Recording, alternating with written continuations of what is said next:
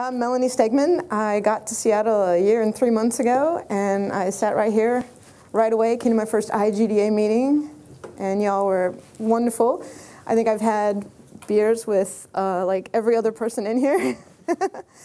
um, uh, so, uh, short bio, I'm a, um, just skip to the thing. I'm going to talk to you tonight about my brand new game studio. We're called Molecular Jig Games. We're, uh, you know, local. We make games that are based in this universe, not the Star Trek universe or the Lego universe. We're in this one. We just happen to be in a very small part of it. Um, so, what do I do? I'm a biochemist. I did a PhD in uh, cancer-related signaling, and I did a postdoc in tuberculosis-related drug design. So I spent a lot of time explaining to people what the hell I do. and people just couldn't get it. Like even my siblings who had been with me the whole way were like, okay, kinda. And um, so I was driven to explain what's going on. The, the other thing is that one in nine postdocs, so one in nine people who already have a PhD, who already got a postdoc position, and they're making their $36,000 a year, working hard in someone else's lab, one in nine of those people get a job as a professor. And why is that? There's not enough funding for all the scientists who want to work.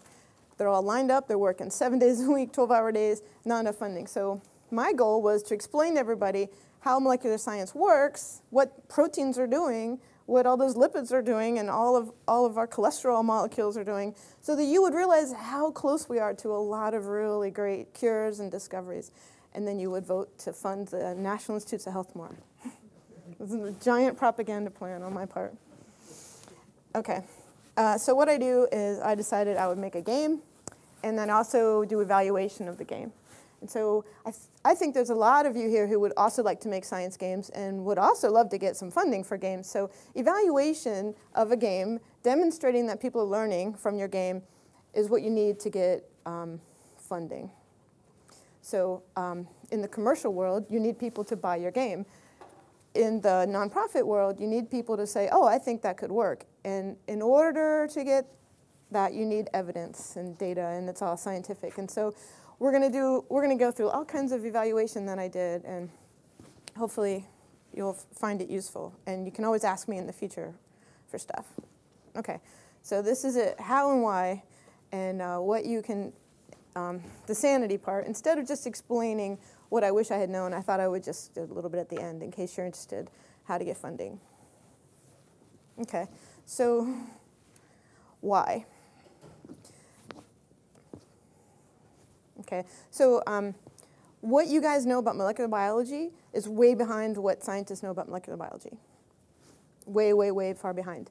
Um, you, the, um, the development of the computer and the discovery of what the actual structure of, of DNA happened around the same time. And you can walk up to any 10-year-old and ask them what a megabyte is. And they're like, oh, they have all kinds of stuff, knowledge about that, or a video card or a driver or whatever. It, but you might be able to draw a double helix, maybe, and you probably don't know how to draw a protein. And the other thing that a lot of us know already is that learning games don't make us want to play them. Generally, you know, traditionally, when I started, when I left my PhD in, or left my lab in 2008, learning games were like, here's a really long description in text of what you want to do, and then chance to do it. And here's some more text and a chance to do it. And so I wanted to try to find a way to make that all better. So, okay. Why does it really matter that uh, people know about molecular biology? Not only for funding for NIH, but also for policy decisions. So we all live in a world where people make decisions, people vote. And if, and if you don't know how infectious disease work, you might not vote for uh, money to support it. A lot of, a lot of these policies decisions are really, really important. Um, evolution, for example, would be a very different debate if everybody knew uh, this kind of stuff. So uh, sugar gets processed in your body by proteins. It turns out sugar gets processed in E. coli's body and in spinach's body and your body by almost exactly the same proteins. So um, that's a, a great book that you should go out and buy for all your friends for Christmas. Machinery of Life. It's only 20 bucks on Amazon. okay, so this is a this is a, a, time for you to think now. Think to yourself. Uh, you have you have some medicine, like say, uh, cold medicine, and you take it, and it goes in your body, and like, where does it go? Like, what happens inside your body? How do you envision your body? Is it a you know big ball of water, and now you've put some medicine in it, and medicine diffuses throughout your ball of water, and you have a concentration? Like, what's happening in your body? Did we have a mental picture? themselves. Hopefully, it's a little more detailed. Well, what I, what I want to explain is that we know a lot more about what our body's doing than, than, than our own mental images in our head. So um, this is some really neat stuff. It's all about in the book. But most of you are familiar with this, this gray um, picture is an electron micrograph. And using electrons, you can get to the resolution of, of part of a cell. And you can see uh, cloudy, dark bits, fringy bits on the edges of the membranes. But we also have X-ray crystallography and NMR microscopy, so we can see the structure of proteins. And if you combine those data, um, and also combine a whole lot of biochemical data about the concentration of proteins in each cell and the amount of water versus salts, you can actually draw a picture, like David Goodsell did, of what it must look like on the inside of a cell. Uh, if you're paying attention, you'll know that's an E. coli cell. The yellow strands are DNA. Okay, the next picture is to, to let you know how far along we are with molecular biology knowledge and how sadly the public is behind. We know where your salt molecules are. Those little, little red dots in there um, are salt, and there's another color, pink. So your sodium and your chloride are surrounded by water molecules. The, the teal with the two little white mouse ears, those are water molecules. And uh, the big giant pink, well, you know, you can read it. There's ATP in there, there's proteins. Uh, we know this. And the other thing is it's pretty cool. So like, why wouldn't you want to know it? okay, so uh, we're going to go a little topical now. I threw this in today just for this. So yeah, everyone has seen this image like a thousand times on the news. Well, like, what does Ebola do when it gets inside of you? What? Where does it replicate? Yeah, how does it get inside of your cell? Yeah, how? yeah, this is the one little thing that everybody's missing. The one little part of how viruses get inside your body. Who knows how they get inside your body? How they get inside your cell? Through science. a receptor. That is absolutely right. A receptor. Thank you very much. Receptors are proteins generally, and they're in the membrane of your cell. They're also in the membrane of the virus in this case. So this is what the Ebola virus really looks like. This is in uh, the Protein Data Bank, Molecule of the Month. You can go find it. It's awesome. David Goodsell drew it as well. And uh, so what, what that very top protein is, a glycoprotein, that is what binds to receptors on your cells. And without that, it cannot get inside your cells. And usually it can only get in specific cells. That's why the flu doesn't infect your liver. The flu only affects your airways because it has a specific receptor that binds to airway receptors. And this is pretty cool, right? I mean, look at this bad guy. He's got surface receptors that make him affect different cells. He's got structural proteins that make him bendy or not bendy. I mean, this is really awesome, like way cooler than Pokemon, basically. And it's also endless bad guys. Okay, so what I wanted to do was introduce this to players. How are you going to use the players? So I'm to just skip, show you an awesome video of uh, surface molecules as I introduced them in immune defense. There's no audio, but imagine awesome music. Um, this is our microblog. You can modify this is a strategy game where you can buy different units. There's a neutrophil at the top, macrophage at the bottom, and all I'm doing is switching receptors.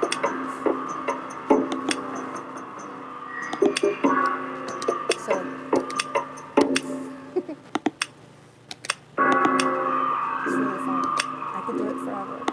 But now you now in this game you get to do it. You get to change surface molecules, and each one of those has a different function. We'll do that later. So what's really important is to get uh, intuitive understanding of something before, uh, before you have to memorize everything. And, and with molecular biology, we don't do that. We generally wait until you're older before we tell you about these invisible things called proteins. And because proteins are invisible, they're abstract, and that's why they're missing from everybody's understanding of how your body works. So what I want to do is find a way to get grade school kids and also all of us computer people playing games and get this intuitive understanding, and then we can build up. And if, in case you want to know, this is what's called the spiral curriculum, where you tell somebody something basic once intuitively, and then come back and build on that the next year. And what's important is that playing a game where you have this ball and you switch these thingamajobs on it and it can do different things with different thingamajobs, that's the intuitive learning. And you can't test for that because you can't write thingamajob on a standardized test because other people are calling them doohickeys. That just doesn't work. And so that's why learning games have this giant paragraph of text and then you're allowed to do something because they're assessing you for your actual formal learning and not for your intuitive learning. So if you want to make a science game, find a way to test for the intuitive learning, and then you can use that uh, evidence to get your funding, and that's what we were doing. Another extremely important reason why we need to show these concepts to younger people and to non-scientists, because misconceptions are really hard to unteach.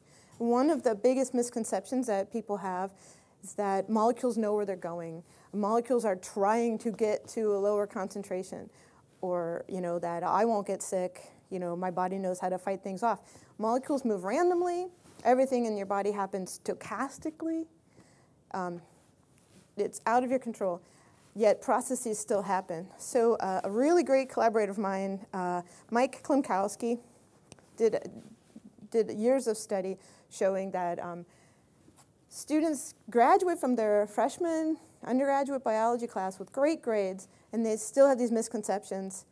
For example, the fact that uh, one molecule on one side of a cell knows where it's going, it knows it has to get to this enzyme in order to get processed, and, and that it can find each other.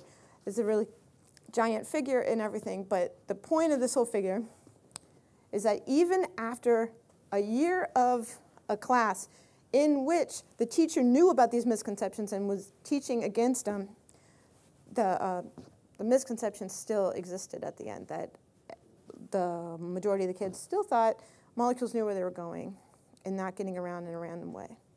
So one of the things I really built into immune defense was the fact that uh, molecules move randomly. And so we're going to see our cell is going to follow molecules and to follow the cytokines. And you really get a sense of the fact that the cell does not exactly know where it's going. Those molecules don't exactly know where they're going. And everything is really happening by accident. So we're going to zoom in in a second, be easier to see. There's a cloud of cytokines around the bacteria and those cytokines are moving randomly, and it just turns out that they form a cloud around it diffuse away. And we're, we see our cells, sometimes it's moving away from the bacteria, and sometimes it's moving towards them. And that depends on when it binds to a cytokine.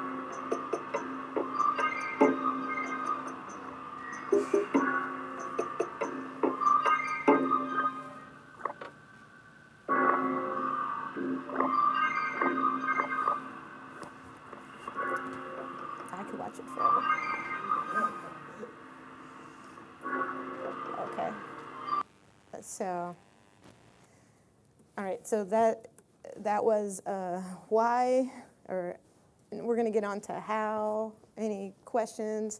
You can interrupt me anytime. Okay. So this is the part where I show you how I've evaluated uh, a game. So Immune Attack was a game. Immune Attack's not my game. It's a third-person shooter that takes place inside the body.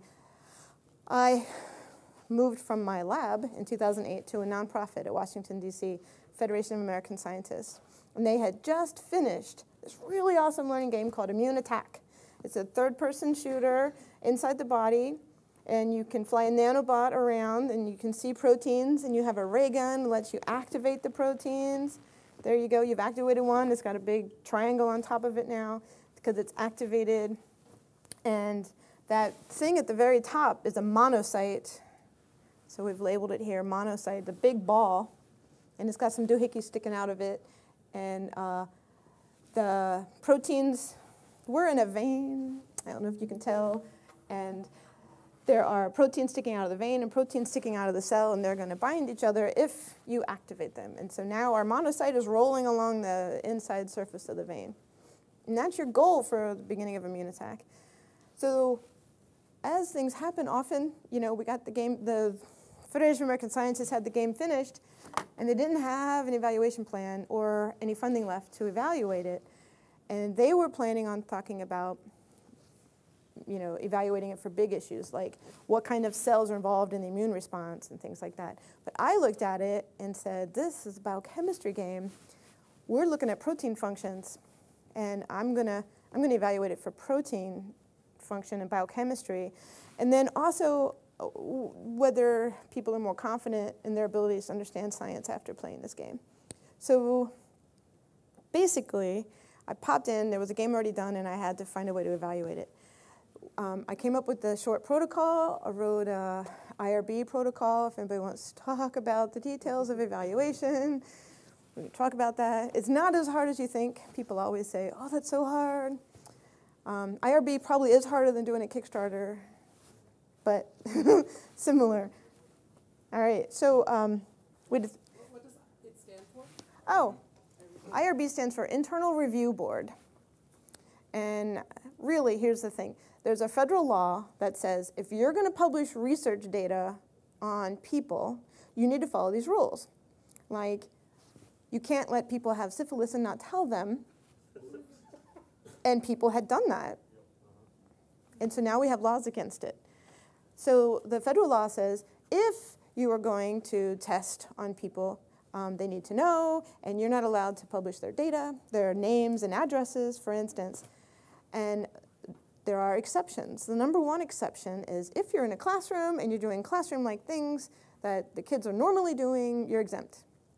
But you need an IRB, an internal review board, to agree that your protocol is really exempt because you're not allowed to just say, I follow the rules myself. And that'll cost you a lot of paperwork and $500 if you're lucky. And that's why teachers can't conduct studies on their own kids.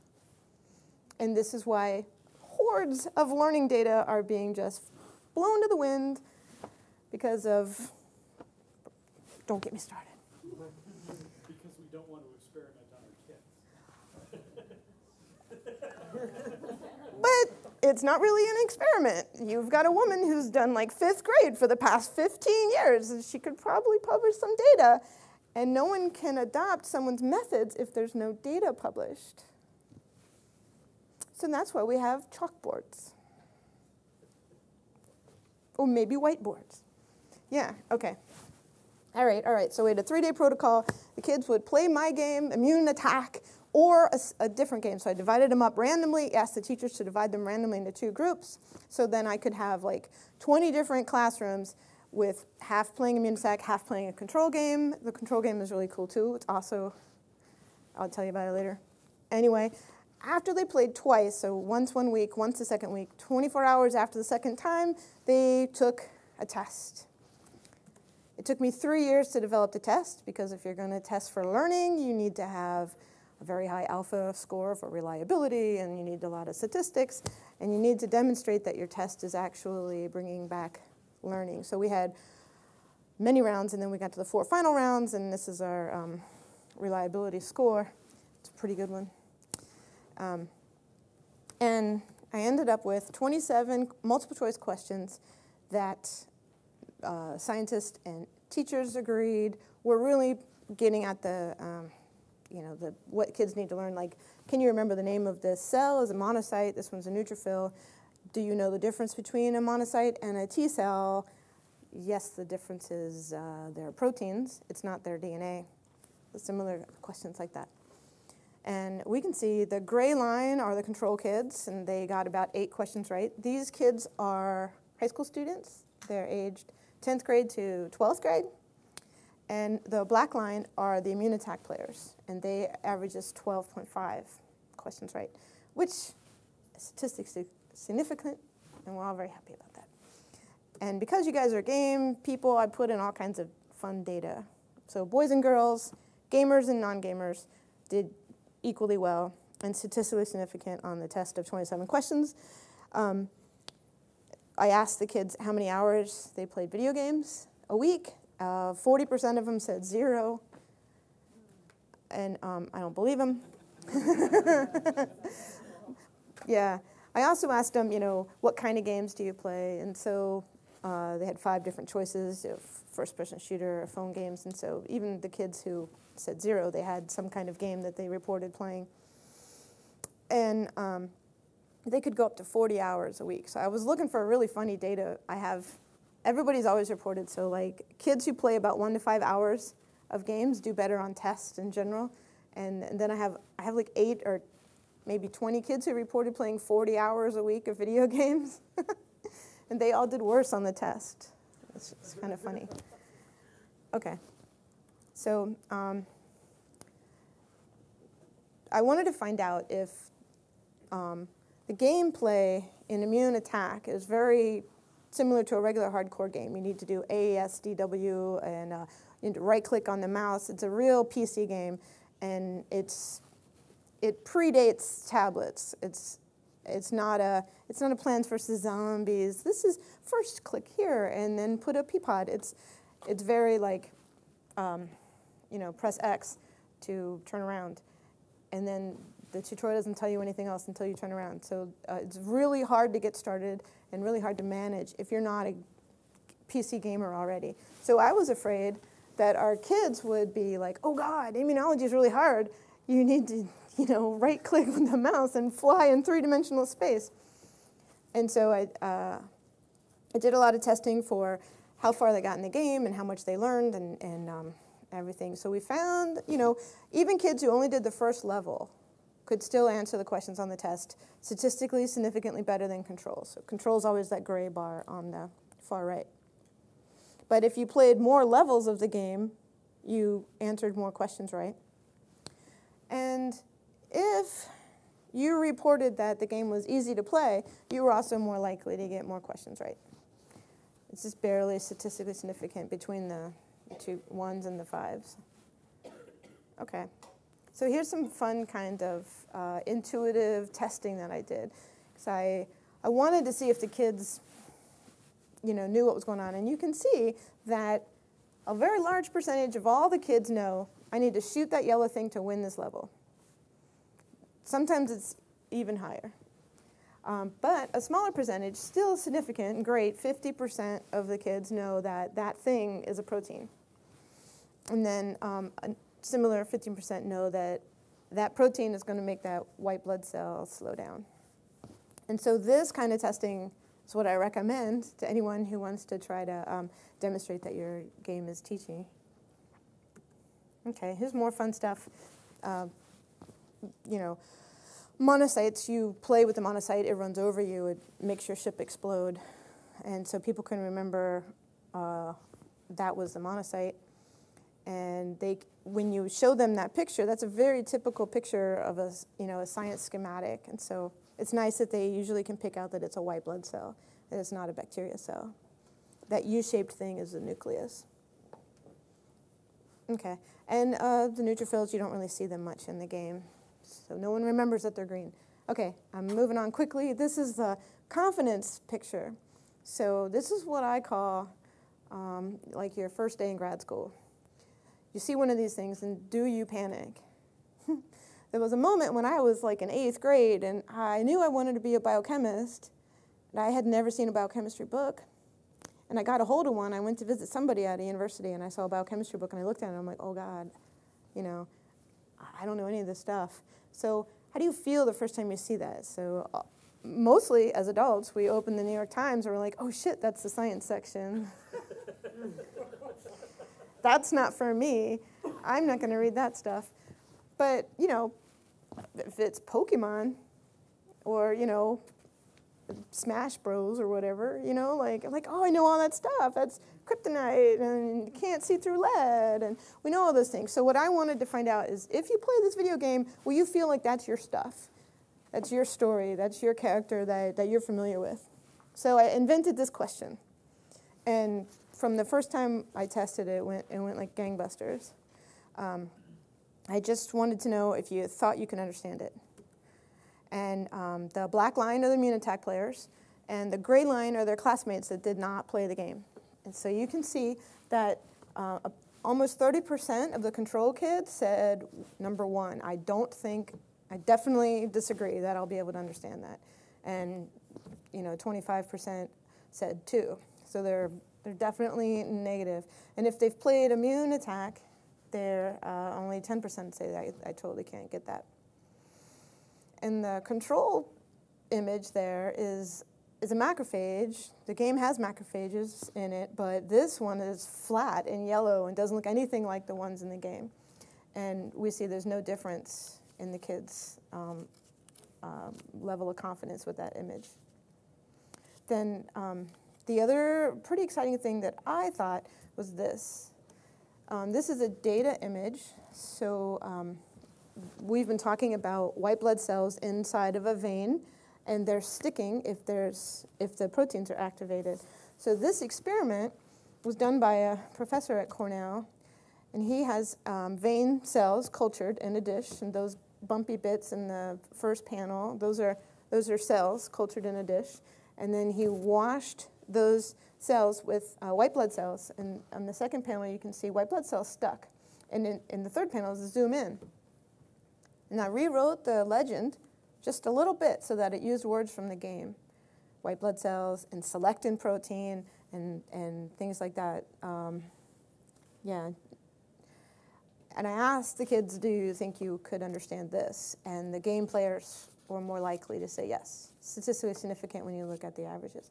So I was really excited because this is the kind of thing we need the public to be able to do. Open the New York Times, read the images, read the pictures and the charts and the graphs, you know, if I'm a, I'm a successful professor using your tax dollars to solve important problems, how are you going to know? Um, this is also very important for plaque formation and atherosclerosis, which kills most of us. Okay, and so, oh, yeah? So, uh, what's your what's your conclusion that that that confidence and understanding observation I think, is really really significant. I think it's got significance to everybody here in the room. What is your mouth and say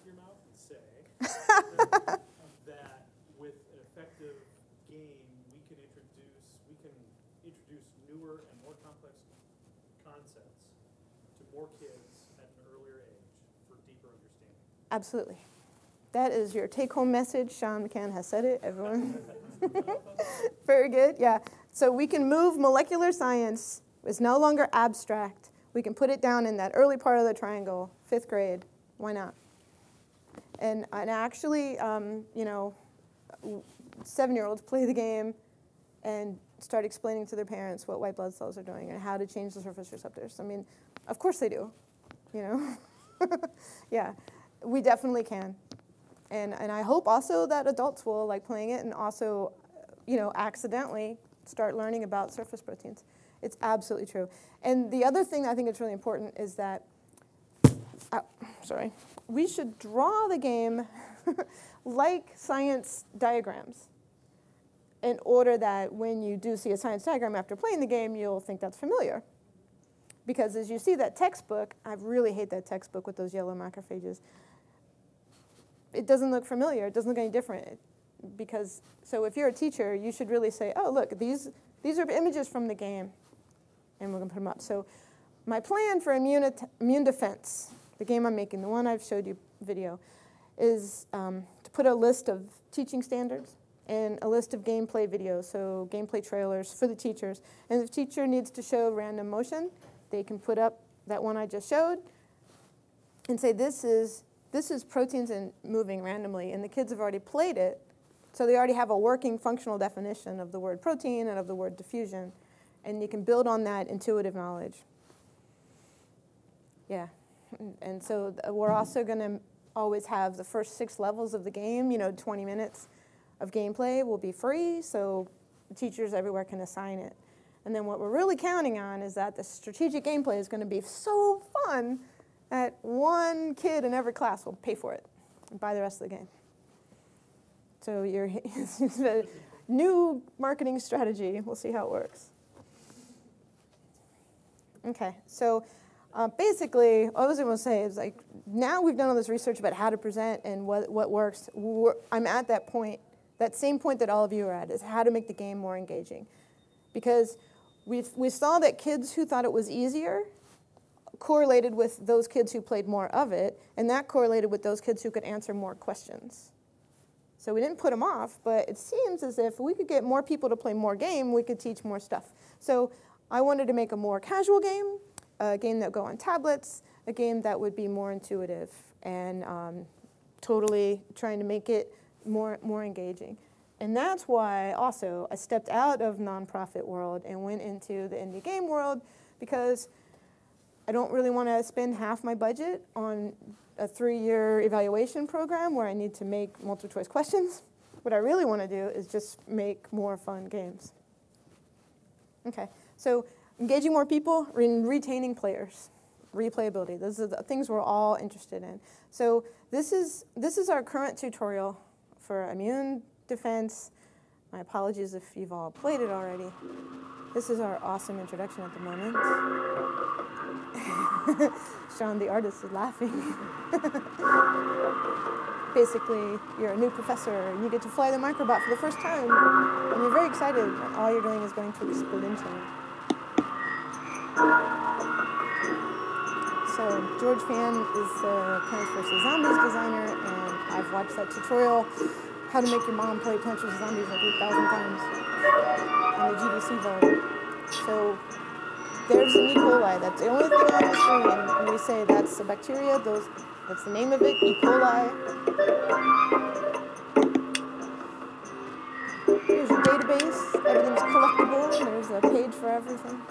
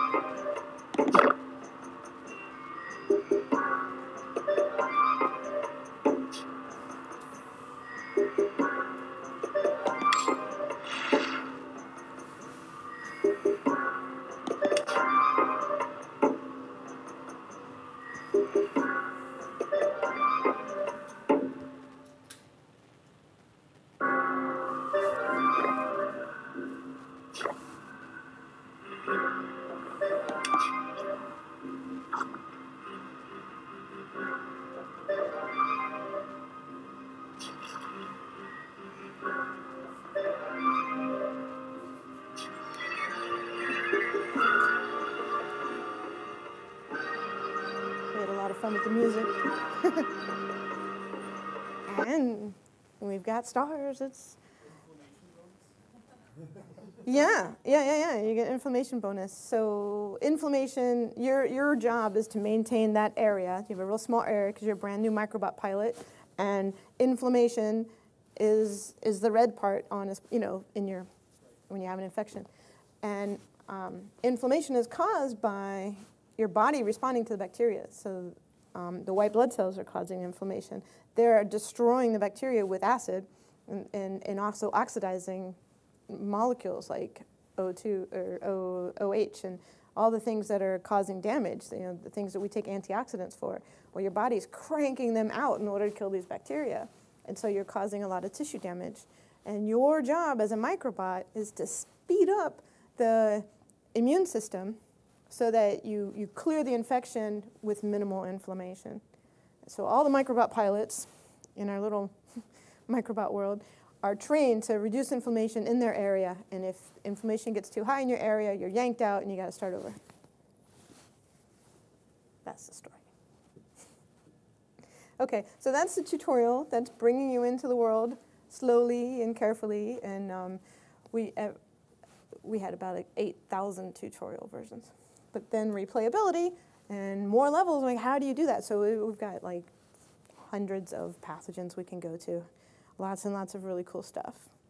There's pathogens that divide before you can eat them. We've got some that don't die when you put them in the acid. We got some that get out of those little vessels and they swim around inside your blood, inside of your white blood cell, and then you need to buy a killer cell to kill the white blood cell. Yep, it's awesome.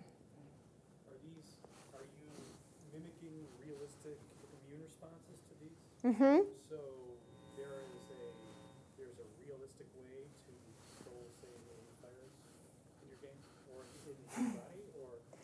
Uh, yeah, no, there is. a theoretical mechanism You need antiretrovirals to control AIDS. And so in the game, you can buy drugs. Yeah, that's the plan. That won't be in the version we're putting out for the Kickstarter before, before Greg throws something at me. um, yeah, but that, that's the only way to control AIDS, drugs. But you get to find out why by playing the game. So pretty cool. Yeah, it's really, really cool. I've been talking too long. Okay, so there you are. That's Molecular Jig Games. This is hopefully starting Tuesday. Um, uh, it's, it's me. It's Greg Shudecki back there with the video camera. He's the brand new CTO of Molecular Jig Games. And um, ScienceGamesCenter.org is where I put all kinds of science games. There's a couple of local companies that have made science games. Oh, applying for a grant. If you want to apply for grant, you go to grants.gov. It's very complicated. You need an evaluation team. You need to co-work with a scientist and get a scientist to work with you through the whole part. So you get the scientist to sit with you at the beginning. Basically, just hire them. They're cheap.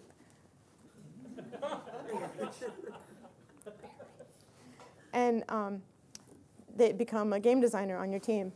Like, you know, they're like Klingon experts. They know the Klingon language and they can make sure your game is real. They know all the Lego parts and, you know. Um, so then you, you uh, do the whole brainstorming bit and come up with the mechanism and game and stuff, and then it's, it's pretty typical standard for game development, right? You develop, then you test it, and you, you discuss results. But all along, you're looking for whether people understand the science and whether you've added any misconceptions. So when you're doing the usability testing, you're, you're looking also to see what they, what they understand. So get them to answer some essay questions, and then keep your, keep your scientists and your um, teaching experts around to interpret the results of the essay questions. Yeah? Do you have this diagram or these methods published anywhere? Because Yes. it's kind of. This is a, this is a sketchbook for how to make a real educational game. It's on my blog at molecularjig.com. I didn't mean to actually throw that soft a ball at you. but That's, that's a cool slide. Really black and white. Thanks. yeah, uh, that is. It's there. So um, it, under under research, you can find my paper, and it, under the blog, you can find that diagram. And soon, my paper was published by the Royal Society of Chemistry. Isn't that cool? Yeah. well, thanks. Thanks. Peer reviewed, don't you know? Yeah. Thanks. Okay, these are other people who make science games in Seattle, and none of them are here tonight, but they're awesome. And hey, I've not put those games. Oh. Science games, but sweet. Okay, well, ScienceGameCenter.org is our magazine for science games, and we want to put your game on there. And um, it's a place where you can review games because, uh, you know, like Immune Attack was a really hard game, and teachers didn't want to give it to their fifth graders because it's about receptors and proteins. The fifth graders are like, give me that stuff. I want to play that. And so, what I thought the ScienceGameCenter.org would be is a place where fifth graders could say, I love this game. And then, and so it's working out. We've got 1,800 registered users, and um, uh, we get 100 new users a month. So sciencegamecenter.org, go there and review games. If you're a developer, we'll put you down as a developer and you can review it from a game design point of view. Awesome. Okay, that, that is it. I'm done. Any more questions?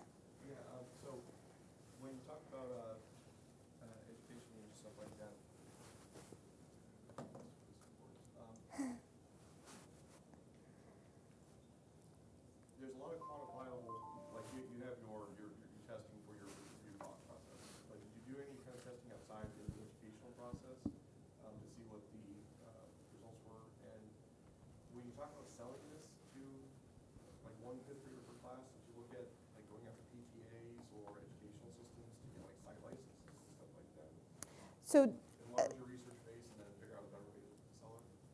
Yeah, so marketing to schools is notoriously a terrible way to market anything.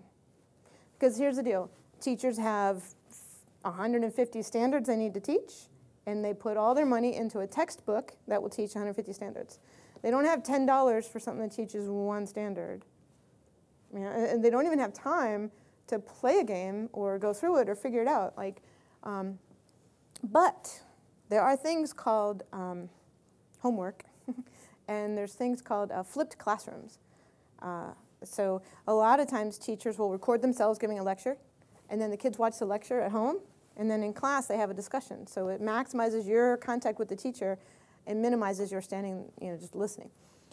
And um, games are something that uh, teachers can assign that way. And so I really think we're going to have a large market of teachers who are like, awesome, it's free. There's a list of these standards that it, that it teaches, and I can send the kids home to play it on any device or at the library on the web and things like that. So I don't think everybody knows actually that trying to get your game accepted by a district is impossible unless you have to answer multiple choice questions to win the level. Dimension M is a math game that's super pos- po- popular. The whole state of Virginia and West Virginia bought it for all their kids, and you can do an obstacle course. And in order to jump to the next obstacle, you need to answer a multiple choice math question. but it's perfect, right? You answer the question, so now the teacher knows you did it. And if you're in the fifth grade, you can play against 12th graders and obstacle them. Yeah. And I have not done any informal testing yet, so that's, that's my next IRB protocol that I'm going to write up. And that's what we want to do with the game. So we'll put it on tablets and then ask questions at the end or get people to type in, like, what did you do, and say it in your own words. But um, in order to do a peer reviewed paper, you really need controlled conditions. And you need the teacher to say, uh, these students were there and they played for 40 minutes, and we had this technical problem until they only played for 30. Any more questions? So do you have any, Ooh. um, I- I'm still trying to understand what the goal of the game is. Is it to teach biochemistry?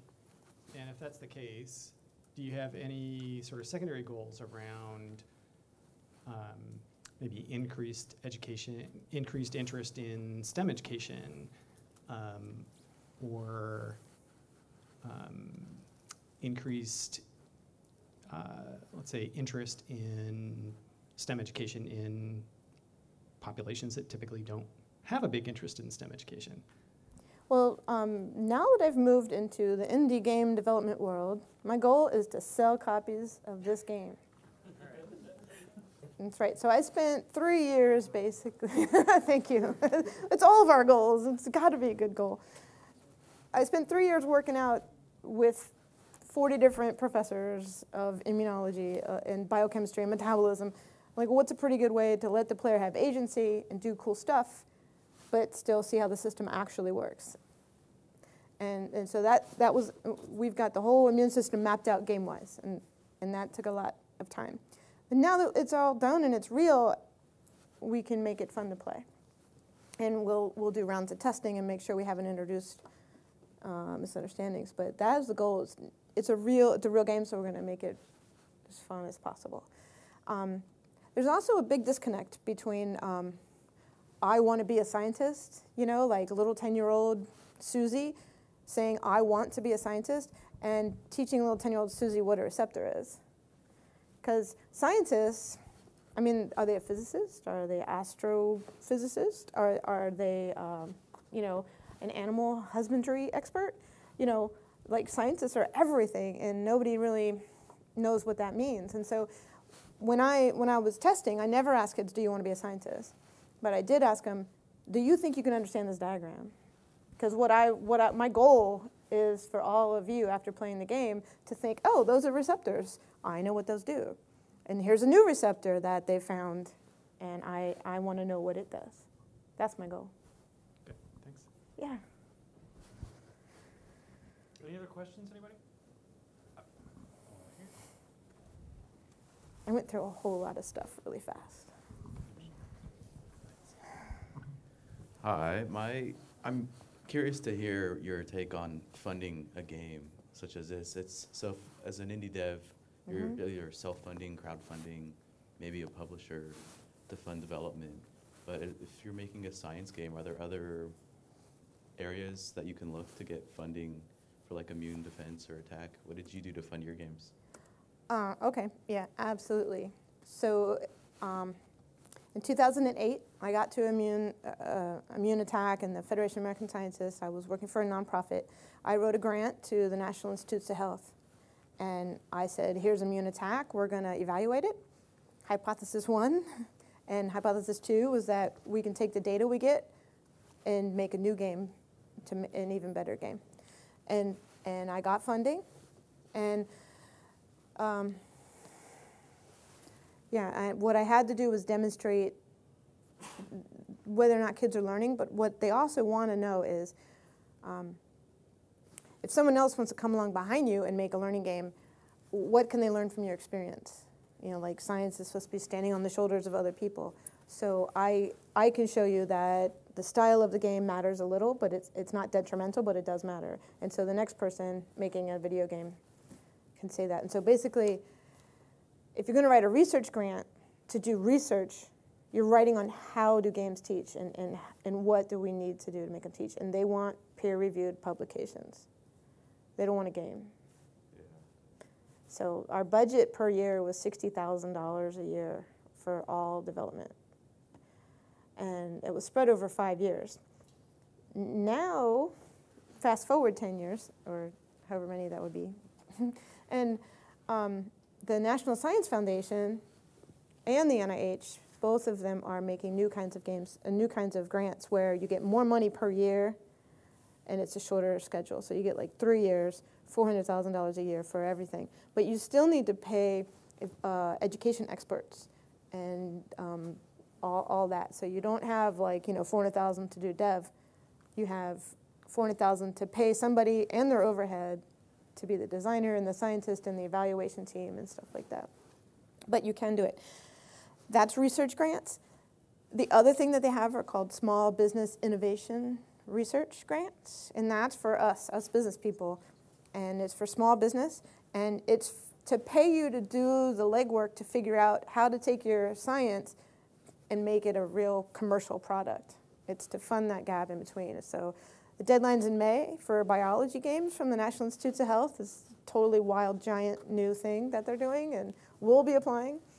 And um, uh, other sciences, it's harder to figure out where to apply, but National Science Foundation has a lot of grants. So their uh, informalscience.org site has a lot of information.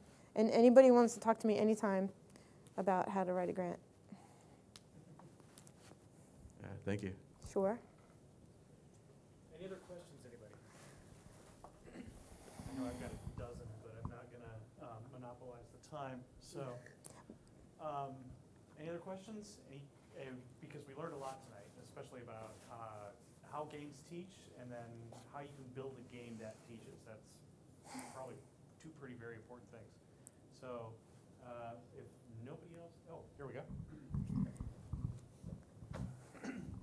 Yeah, hi, I'm Toby from Germany, traveling through. So, and I was wondering uh, on the sciencegames.gov, do you have? Uh, so it's a global community. So there is researchers from all types uh, from Europe as well, or is it taking off in the States mainly. What is your ScienceGamesCenter.org is Yeah. my little site, and yeah, anybody who wants to be on it can be on it.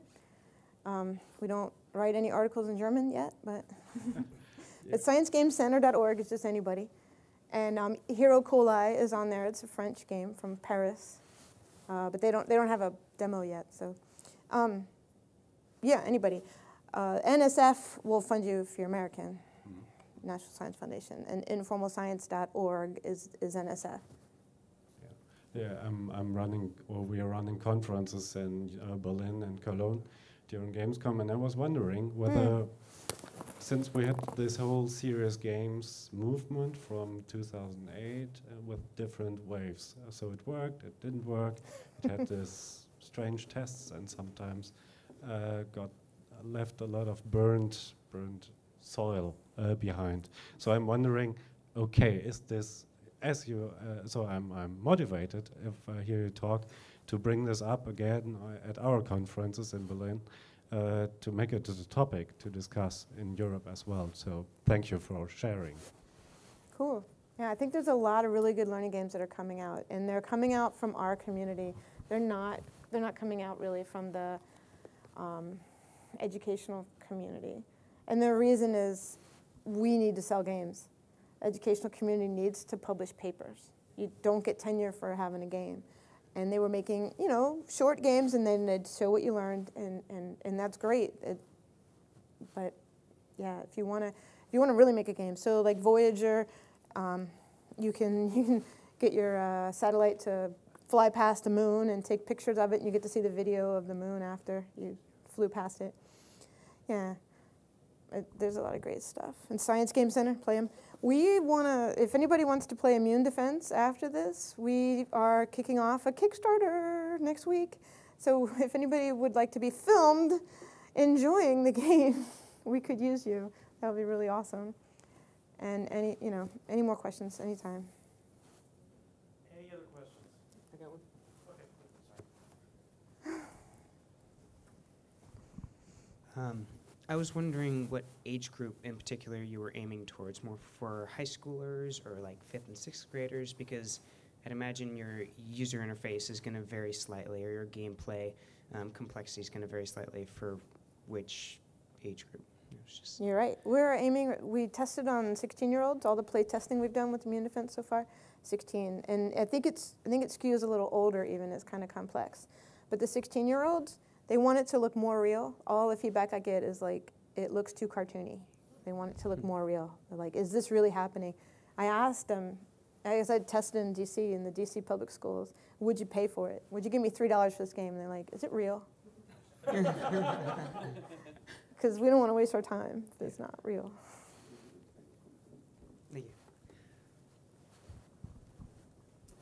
That's it, gang. Let's, uh, uh, let's hear from Melanie. Um. We're, uh, we're running a little bit behind, but I do want to have Kate from the, uh, from the, I'm sorry, Kate is the executive director of the IG, of the, of IGDA.org, right, essentially. The global organization. And uh, she comes to as many of these as she can because Seattle is her home city. And uh, I wanted to talk, she has 90 seconds to talk about IGDA. Okay, great. Um, well, I know a lot of you in here already, but if you don't know me, I, I am based in Seattle and I do run the global IGDA organization. And um, if you're not a member of the IGDA, I encourage you to go to igda.org and check it out. We have got a lot of member benefits, a lot of event based stuff. We've got tangible benefits as well. Um, we're always trying to add more stuff like software and hardware and all that kind of stuff. Um, we've got some of that already and we're adding more soon. So if you're curious, just go to the website and check it out. Um, some people just join because they want to support what the organization does, like being really vocal about certain social issues over the last few months. Yes, um, that's a great example. I'm glad you brought that up. So, one of the things that we did, we just launched it yesterday, in fact, is an online harassment resource, um, a resource center. So, if you, in light of the recent months and activities going on in our industry, we have a whole list of resources on the website that all kinds of stuff, like if you're being harassed or doxxed or anything like that, there's advice on what to do immediately versus long term stuff, how to protect yourself online, all kinds of stuff like that. So that was something that our Women in Games SIG put together, and it's up on the website right now. So we do all kinds of stuff like that um, to help developers of all kinds. Doesn't matter who you are, if you're a one person team or if you work for Amazon or Microsoft or whoever. So there you go.